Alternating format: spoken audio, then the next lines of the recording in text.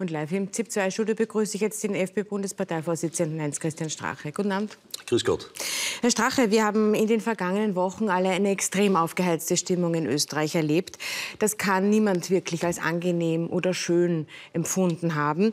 Trotzdem war es doch heute sehr überraschend, dass Sie, der Sie für Ihre kantige, scharfe Wortwahl, muss man sagen, bis über die Grenzen Österreichs hinaus bekannt sind, zur Abrüstung der Worte aufgerufen haben. Ist das jetzt ein neuer Stil?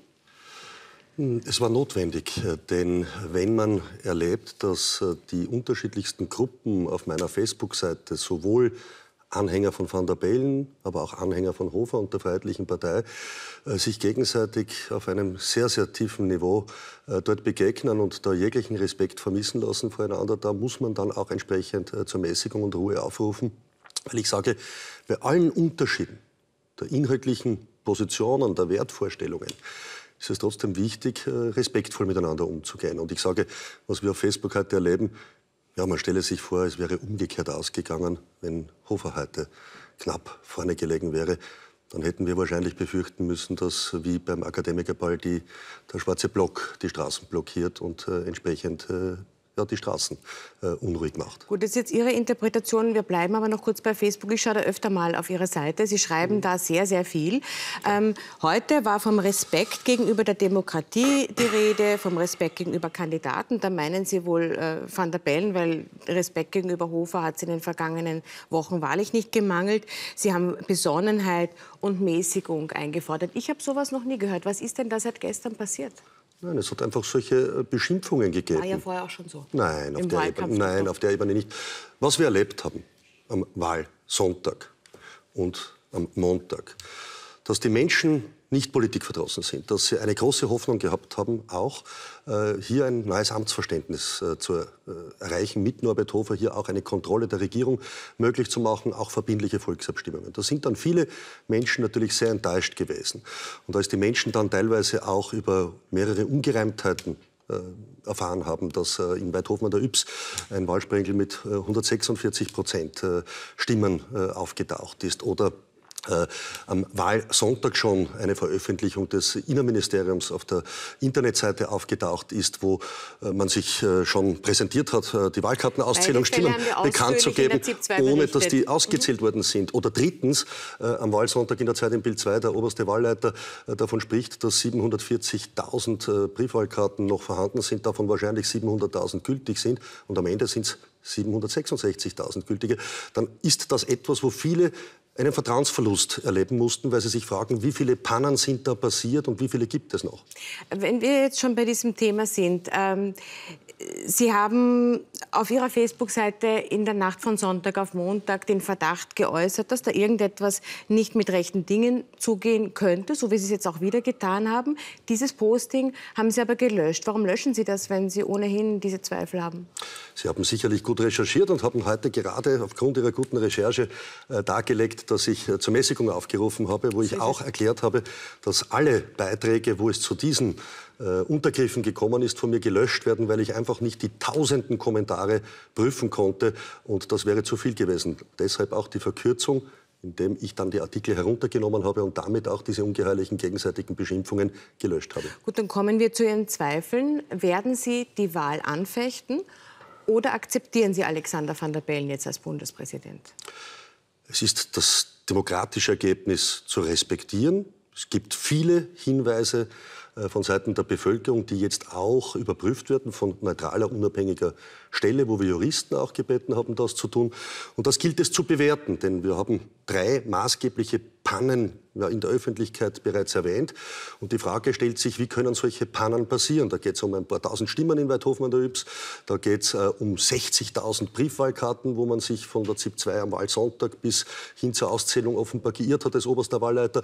Da geht es äh, um Dinge, die natürlich zu Fragen äh, führen, was ist da noch an Pannen passiert? Und das wollen die Menschen nicht, weil sie sagen, Demokratie und Rechtsstaat, da muss man sich darauf verlassen können. Und das wollen wir auch sicherstellen. Gut, diese Fragen haben wir an sich schon beantwortet in der ZIP 2. Sie haben ja selber gesagt, Sie haben das gesehen. Meine Frage ist jetzt, wem misstrauen Sie eigentlich? Den vielen Freiwilligen, die sich äh, in ihrer Freizeit unentgeltlich für Demokratie engagieren? Oder ist es das Innenministerium? Wer genau ist das? Und ich muss auch noch dazu fügen, es gibt in ganz Österreich mehr als 10.000 freiheitliche Wahlbeisitzer. Die, die achten doch darauf, dass alles mit rechten Dingen zugeht. Ich misstraue grundsätzlich niemandem, aber ich glaube durchaus, dass wenn Bürger Wahrnehmungen haben und hier auch Berichte und äh, Belege dazu bringen, dass man die zu prüfen hat. Aber das sagen Sie und nach jeder Wahl. Und Sie haben es noch nie eine Wahl angefochten. Sie haben auch nach der Wiener Landtagswahl gesagt, irgendwas stimmt da nicht. Selbstverständlich. Wir haben in Bezirk Leopoldstadt, wo 80 Wahlkarten verschwunden sind, verschwunden sind, dem Verfassungsgerichtshof Eine ganze angerufen. Wahl beim Verfassungsgerichtshof angefochten. Schauen Sie, Sie wissen, Sie dass das ja nicht leicht ist. Auch da werden Sie recherchiert haben. Und äh, wenn man eine Wahl anfechten will, so muss man belegen können, dass bis zu 15.000, 30.000 Stimmen, das muss man belegen können, wahrscheinlich Nein, es geht darum, mittels ob das Missbrauch, Wahlergebnis verfälscht mittels werden oder verändert gefälscht worden sind. Das heißt nicht nur reine Verdachtsmomente, nicht nur Indizien, man muss wirkliche Belege liefern. Das ist nicht so einfach. Bei den vielen Hinweisen, die wir bekommen, die prüfen wir. Und ich sage, das ist notwendig. Man muss sie prüfen. Und wenn, dann müssen wir schon auch über das Wahlsystem und auch das Wahlrecht reden. Denn natürlich, wenn man heute äh, die Briefwahl äh, hernimmt, da gibt es Missbrauchsmöglichkeiten. Und das wurde sogar von internationalen Behörden kritisiert, die zu Recht hier sagen, da muss sich etwas ändern. Es kann nicht sein, dass man Wahlkarten beantragen kann, äh, mit, ohne dass man das überprüft, ob das auch die richtige Person ist. Es ist auch die äh, geheime Wahl nicht sichergestellt. Wir haben hier einige äh, Szenarien schon gehabt in Österreich, wo in Vereinen Wahlkarten eingesammelt worden sind und dann Gut, für Mitglieder wir wollen jetzt ausgefüllt nicht so wurden. viele Verschwörungstheorien Nein, das sind keine Verschwörungstheorien, das sind Realitäten, die in Österreich aufgedeckt wurden Gut, sind. aber werden Sie anfechten oder nicht? Das habe ich Ihnen erklärt. Das werden Sie unabhängige. schauen einmal, haben Sie gesagt. Das werden, es werden die unzähligen Hinweise, die wir bekommen haben, von unabhängigen Juristen geprüft.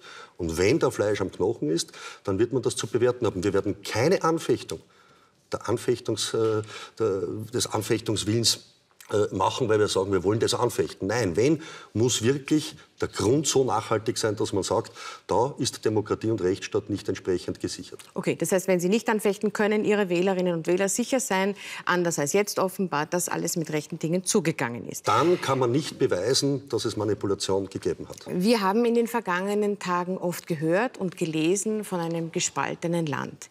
Die Bild-Zeitung äh, schreibt heute sogar von einem kalten Bürgerkrieg. Wenn Ihnen Österreich so am Herzen liegt, wie Sie sagen, kann Ihnen das ja nicht gefallen. Jetzt würde ich gerne von Ihnen wissen, was wird Ihr Beitrag dazu sein, dass diese Spaltung in Österreich überwunden wird, dass diese viel zitierten Brücken geschlagen werden? Dass eben nicht solche Aussagen wie heute von führenden österreichischen Persönlichkeiten passieren können und dürfen.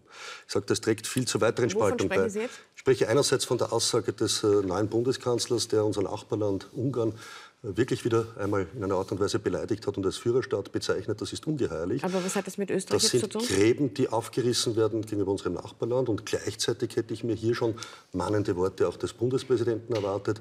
Und nicht so wie heute in deutschen Medien, wo er sagt, äh, er wird gleich wie eine Wahl ausgeht, der Freiheitlichen Partei nie einen Regierungsverhandlungsauftrag geben. Das ist nicht seine Aufgabe. Der Wähler gibt einen Regierungsverhandlungsauftrag aufgrund einer demokratischen Wahl. Und das ist, glaube ich, wichtig zu erkennen, dass wenn man Gräben auch wirklich zuschütten will, dann hat man den Wählerwillen, das demokratische Wahlrecht und Ergebnisse zu respektieren. Und dann hat man auch die Wähler nicht zu beschimpfen, nicht als dumm zu bezeichnen und schon gar nicht als Antidemokrat. Lassen Sie mich das kurz aufklären. Sie sprechen ein, ein Interview an mit Alexander van der Bellen, das in der deutschen ARD-Sendung Mhm. Tagesthemen ausgestrahlt wird und erst jetzt in äh, wenigen Minuten startet. Bleiben Sie bitte trotzdem bei uns. Mhm. Ähm, in diesem Interview sagt er, es geht nicht um persönliche Abneigung der FPÖ gegenüber, es geht um die Haltung gegenüber Europa und um das Liebäugeln mit Renationalisierung. Ähm, jetzt ist das nichts Neues. Sie haben nichts anderes von Alexander van der Bellen in diesem Wahlkampf gehört. Warum regt Sie das jetzt so besonders auf? Er hat also äh, gestern den Eindruck vermittelt bei seiner Antrittsrede, wenn man so will, als designierter Bundespräsident, dass es da zwei Hälften gibt. Und dass beide Hälften gleich wichtig sind. Und wenn man das ernst meint, dann muss man das auch entsprechend mit Leben erfüllen. Dann kann man nicht sagen, es interessiert mich nicht, wie eine Wahl ausgeht, wie stark eine politische Kraft demokratiepolitisch gewählt wird. Und äh, dann werde ich mich dem gegenüber einfach äh, verwehren. Das ist nicht seine Frage, die er zu entscheiden hat, das ist die Frage der Wähler bei Wahlen. Und Wähler entscheiden, ob sie eine Regierungsveränderung wollen, indem sie Parteien und deren inhaltlichen Kurs auch stärken und so stark machen, dass es eine Regierungsverantwortung geben kann. Gut, äh, jetzt möchte ich noch zum Zustand Österreichs kommen. Ähm, Van der Bellen ähm, sagt, er will auch ein Präsident für die Wähler von Norbert Hofer sein. Christian Kern sagt jetzt, er hat die Botschaft der Wählerinnen und Wähler von Norbert Hofer verstanden. Ich glaube, es ist eindeutig, alle in dem Land denke ich doch, haben äh, verstanden, dass eine ganz große Unzufriedenheit mit der bisherigen Politik am Tisch liegt. Sonst wäre es ja nicht möglich gewesen, dass ein freiheitlicher Kandidat und einer, der mal äh, Bundespartei, ob man der Grünen war, in die Stichwahl kommt. Ähm, wir haben viel darüber gesprochen, was die Botschaft Ihrer Wähler, der Wähler von Norbert Hofer ist. Was ist eigentlich aus Ihrer Ansicht nach äh, die Botschaft der Wähler von Alexander van der Bellen? Was nehmen Sie damit?